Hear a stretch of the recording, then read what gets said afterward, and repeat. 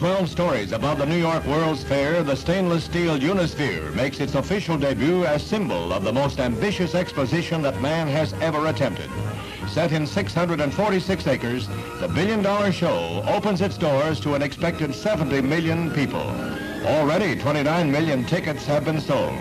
Opening day rain cut the number of visitors drastically, only 92,000 against an expected quarter million.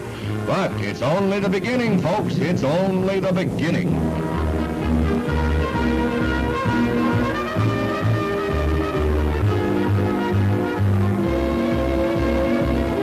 The fair has taken as its theme man's achievements in an expanding universe.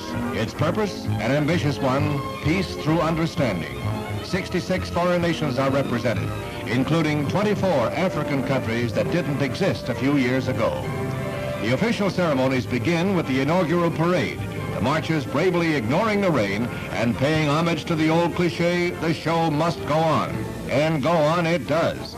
This is the successful fruition of a dream that began six years ago when the germ of the idea was born. A germ that was nurtured to today's grand climax, the greatest fair ever constructed by man.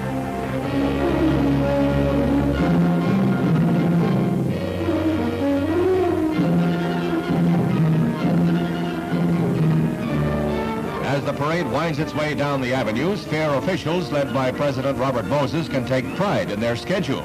The fair is 85% completed, a remarkable record. Of 139 pavilions, only 17 are not fully ready. At the Fair Stadium, an invited audience, many didn't brave the weather, await the arrival of President Johnson to dedicate the fair that his predecessor, John F. Kennedy, helped inaugurate. It was a busy day for the president, a quick trip to New York, and an even quicker return to Washington, where he capped his hectic day by announcing an agreement that sidetracked a railroad strike. The president greets VIPs on the platform before his speech. He predicted a bright future for the nation and for the world. A chilled wind springs up, but the president warms his audience with a quip about the fair's president, Robert Moses. First, however, he strikes the serious note. This fair represents the most promising of our hopes. It gathers together from 80 countries the achievements of industry, the health of nations, the creations of man.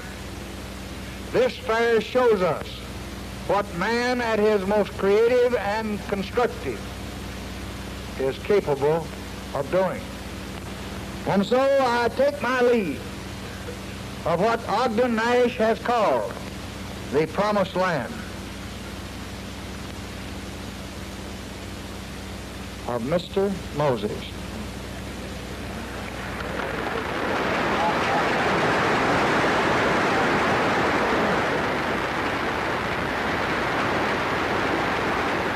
Hoping and trusting that in the future it will not take anyone 40 years to reach it. Thank you very much.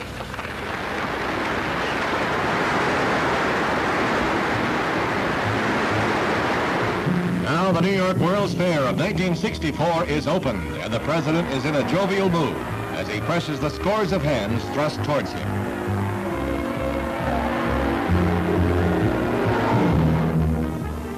It wouldn't be a World's Fair without offering a world tour right here in New York. Want to visit Hong Kong? The international area offers a sampling of life in countries many of us never even hope to visit. You can go east to Pakistan, and when you've seen everything there, detour to Japan. Then a side trip to Thailand, and after that, it's on to India.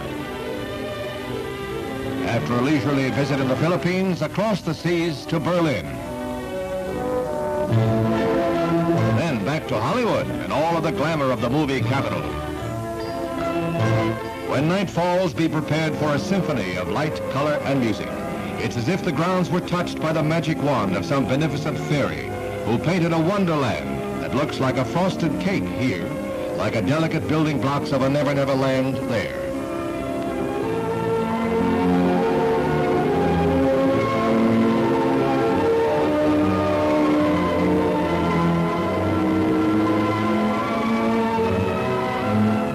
The fountains come to life, they mount a shimmering curtain that rises and falls in great crescendos.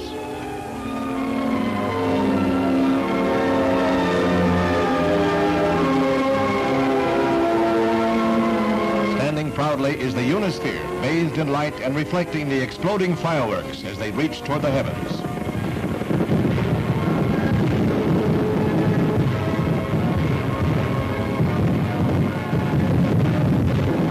Then, is the New York World's Fair. Grand in its concept, it stands as a mighty milestone in man's search for a world that should be.